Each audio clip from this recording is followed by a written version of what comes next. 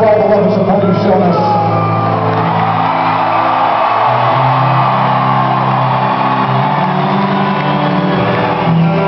Let me introduce you to a man that's helping us move forward right now, Mr. Mike Portnoy. That's the world's favorite drummer right there, and he came out to help us out play music for you all. So